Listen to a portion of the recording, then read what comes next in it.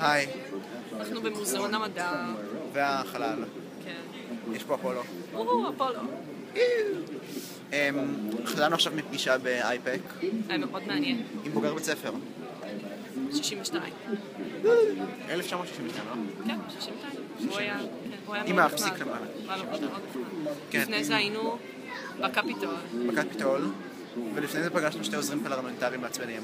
הכרנו אבל את לינקולן חדשים. איתו שיחות עמוקות. כן, חפרנו לו והוא עמד שם והקשיב. ישב. לא הייתה לו ברירה כל כך. כן, הוא ישב שם, הוא פשוט חקוק שם באבן. סטגדיש. את לא מסתגדשת. סטגדיש. אז אמ, זהו, עכשיו אנחנו פה, יש לנו שעה עד שהמקום נסגר.